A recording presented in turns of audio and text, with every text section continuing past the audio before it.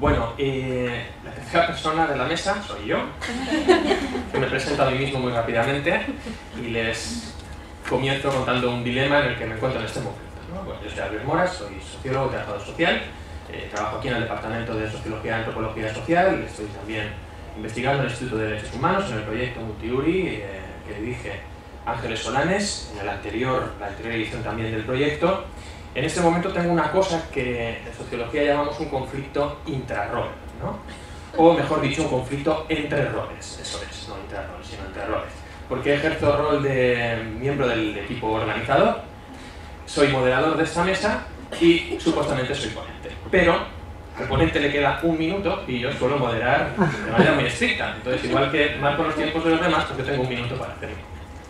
Entonces creo que una posible solución a esto va a ser sacrificar eh, de alguna forma lo que había preparado para, compartir con ustedes, eh, intentar, no sé si lo conseguiré, tomar algunas ideas de las que han ido apareciendo por aquí y de las que yo sé que están en la sala, ya explicaré por qué sé que están en la sala, y hacer alguna pequeña intervención de modo que no retrasemos en exceso la finalización de esta mesa y no sacrifiquemos a otros que no tienen todos estos roles y que, en fin, queremos poder escuchar en, la medida en la cual han preparado su trabajo. ¿no? Agradecer las, las intervenciones, desde luego si hay que sacrificar una ponencia y hay que hacerlo por ponencias como las que acabamos de escuchar, creo que es algo que merece la pena, merece la pena hacer. Eh, bien, yo, como vean además el título, también nos daría para otra hora y media, ¿verdad, María José? Xenofobia, discriminación y delitos de odio en España y en la comunidad valenciana. Así que se pueden imaginar que salir de esto en poco tiempo pues aún es más complicado. ¿no? De alguna forma yo simplemente voy a plantearles, si les parece, voy a plantearos un pequeño esquema que nos sirve para contar un poco qué es lo que, lo que estamos haciendo y cuáles serán algunas de las ideas que ya de alguna forma han ido apareciendo y seguirán apareciendo y podremos ir conectando seguramente a lo largo del Congreso. Nosotros hemos venido trabajando desde el primer proyecto Multiuri, en este segundo, sobre diversos casos concretos en los cuales nuestra sociedad diversa se encuentra ante retos fundamentales para garantizar la igualdad de derechos entre todos aquellos definidos como diferentes. ¿no? Hemos venido además trabajando también diversas personas del instituto en otras investigaciones, ahora estamos desarrollando una también con Ángeles Solanes, con el profesor Javier de Lucas, con la profesora Ana Vázquez, que hablará después sobre la situación de la inmigración en la comunidad valenciana, Hemos hecho también un estudio sobre la situación de discriminación y los delitos de odio en la comunidad valenciana. Y yo lo que intentaba traer era una síntesis de diversos datos secundarios, de investigaciones que hemos ido eh, consultando para estos trabajos, pero también de datos primarios, de sobre todo investigación cualitativa que hemos estado haciendo con personas que forman parte de los servicios públicos, del tejido asociativo, de los movimientos sociales en España, pero sobre todo nuestro ámbito de estudio en estos últimos meses, en estos informes que le comentaba, en la comunidad valenciana. A los sociólogos nos gustan mucho los números, entonces, bueno, pues yo mientras, mientras escuchaba a los hombres podemos hacer a veces dos cosas al mismo tiempo, porque tenemos difícil. Eh, calculaba que en las primeras filas de esta sala el 33% de la gente ha sido víctima de estos estudios de los que les estaba hablando en los últimos 6-7 meses. ¿no? Tenemos aquí en la sala personas que me gustaría mucho además que pudiéramos contar en algún momento con la ocasión de escuchar, en lugar de que yo cuente lo que ellos nos han contado a nosotros en estas investigaciones, de movimientos antirracistas, de movimientos sociales, de CEA, TIPA CEPAIM, Valencia Acoge, la plataforma, bueno, la Fundación para el Estudio, ¿cómo se llama Mundo Árabe. Mundo Árabe, que también ha estado en, en, alguna, en alguna ocasión colaborando con nosotros. En fin, yo había preparado una intervención que no, que no desarrollo sobre de los colectivos que hemos ido trabajando, sobre tres colectivos. Uno primero de las personas inmigrantes, donde pues, quería compartir con ustedes alguna reflexión sobre las formas de violencia que se practican contra esta población, las crecientes formas de violencia, de racismo, algunas preguntas que podríamos hacernos sobre hasta qué punto es posible revertir esa estrategia de odio creciente cuando la ciudadanía tiene la convicción de que es una estrategia útil para promover su bienestar, entonces es difícil que, asuman un discurso distinto si piensan que en este pueden ser ganadores y en el otro pueden acabar perdiendo. ¿no? Quería comentar cuestiones relacionadas con la deshumanización, que Amnistía Internacional, por ejemplo, pone en el foco de su último informe anual sobre la situación de los derechos humanos, sobre ese proceso de aliaforización del que habla Bauman y del que nos ha hablado también de otra manera y con otros conceptos María José Aguilar, ¿no? de esa sustracción del otro como objeto de evaluación moral, se le puede hacer lo que sea, porque ha sido previamente tipificado, se ha utilizado también antes esta palabra, como un bárbaro, como una persona amenazante, como alguien que no tiene una condición plenamente humana, y en tanto que no tiene una condición plenamente humana, no puede ser sujeto de derechos humanos al mismo nivel que lo somos nosotros. Quería hablar también de otras de las dinámicas dentro de ese primer colectivo, las personas inmigradas, que tienen que ver con el discurso político y social que legitima, reclama y convierte en necesario eh, el trabajo por y para la exclusión social de las personas venidas de fuera. Ese es el deseo de las instituciones en buena parte de los casos. Y aquí podríamos discutir las encuestas, los grupos, lo que estamos hablando también en en estas jornadas, nos dicen que también de buena parte de la ciudadanía, ¿no? Eh, y convive este discurso, no les voy a poder mostrar fragmentos de discurso que traía, de reuniones con vecinos, de grupos de discusión que estamos realizando, ¿no? con una defensa de la igualdad de derechos para todos, pero que se combina, por ejemplo, con la creciente defensa de un criterio de preferencia nacional en el acceso a la sanidad, a la educación o a los servicios públicos en general, al trabajo, que todos los años el Overaxe eh, anuncia para aquí, nosotros hemos mostrado, por ejemplo, en municipios valencianos como la Valluso, que tiene una fuerza mayoritaria entre la población. Eh, tercera cuestión que quería comentar,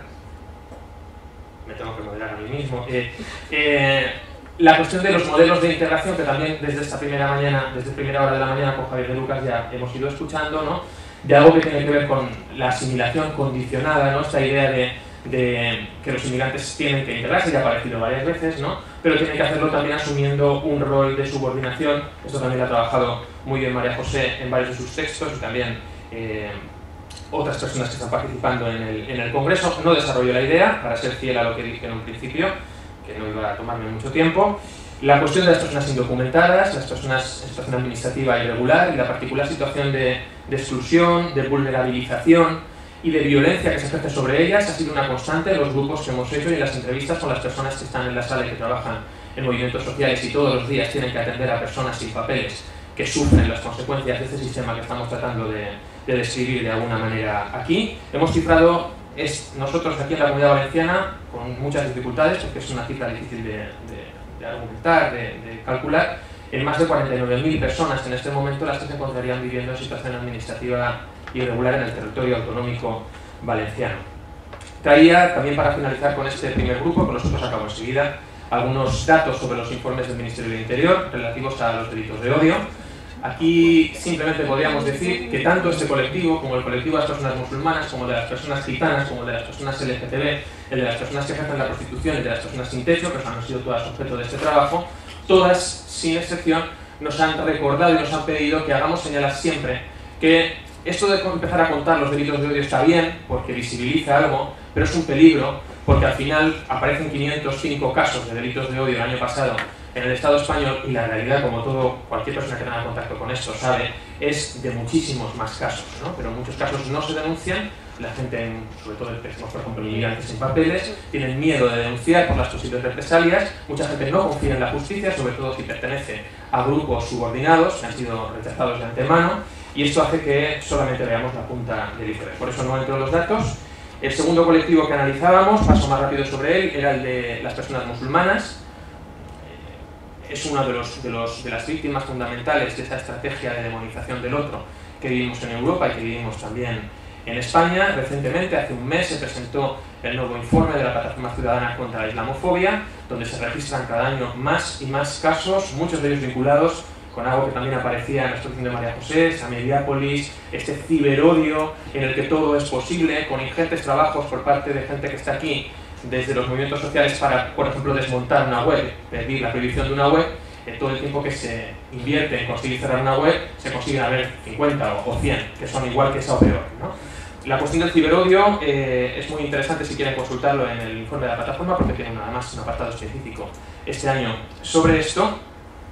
Eh, también nos han contado algo que es fundamental en los diversos discursos que hemos recogido estos meses, a mí me parece muy interesante para añadir, aunque no desarrollemos la idea, y es, ya digo, de forma cualitativa, la administración cualitativa no siempre tiene todo el reconocimiento que merece desde mi punto de vista, pero tiene mucho valor, ¿no? Esa sensación creciente también entre la comunidad musulmana, según nos trasladaban, de percepción de un rechazo por parte de los que no son musulmanes de la sociedad, entre comillas, de recepción, ¿no? que está haciendo también que se desarrolle una particular manera de estar aquí, que está muy lejos de poder ser integrada en ese supuesto nosotros que tratamos algunos de, de, construir o de reivindicar. ¿no? Hay un tercer colectivo eh, del que tampoco puedo, puedo hablar apenas nada, pero es el colectivo gitano. Ellos además en las entrevistas que hemos hecho estos meses siempre recuerdan que precisamente por las grandes violencias explícitas, muy muchas también de ellas implícitas, contra la población inmigrante, que se pueden eh, ver todos los días de alguna forma y completamente de manera distorsionada en los medios de comunicación, y también contra la población musulmana, con una islamofobia rampante en toda Europa y con discursos islamófobos llegando a las instituciones y, obteniendo cada vez más representación, ha diluido de alguna manera, según las personas con las que hemos estado trabajando, ¿no? la, la, cuestión gitana ¿no? y la discriminación a la que se encuentran sometidas las personas gitanas. Una de cada, de cada dos en las últimas encuestas del informe FOESA, por ejemplo, declaran sentirse especialmente discriminadas en la sociedad española cuando este porcentaje es de una entre cada ocho personas no, no gitanas. ¿no? Tenía varios datos para, para comentar esto, por ejemplo, los niveles de exclusión severa en la población gitana, según FOESA también, son de un 55%, mientras que en el resto de la población son de un 10%. Es decir, aunque estos simplemente son dos datos, pero de alguna manera todos sabemos que la discriminación del colectivo gitano es también una realidad y podríamos tener también alguna, alguna reflexión al respecto sobre cuando hablamos de diversidad,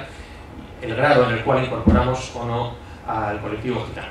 Eh, acabo simplemente comentando eh, otra de las cuestiones que hemos visto en, en, las diferentes entrevistas y es la, el solapamiento en muchos casos de estas diversas variables de exclusión, ¿verdad? Eh, pues en los casos, por ejemplo, de las personas LGTB inmigrantes, que en realidad son personas perseguidas en sus países, pero como en sus países formalmente no está penada la homosexualidad o las, eh, la orientación sexual no heteronormativa, pues no pueden solicitar asilo aquí y vienen perseguidos de alguna manera desde sus países de origen, pero su propia comunidad los sigue persiguiendo aquí en un contexto también de homofobia que sigue existiendo en nuestro, en nuestro país. Si además es una mujer, pues las cosas se complican más. Si además es musulmana, pues imaginemos, ¿no?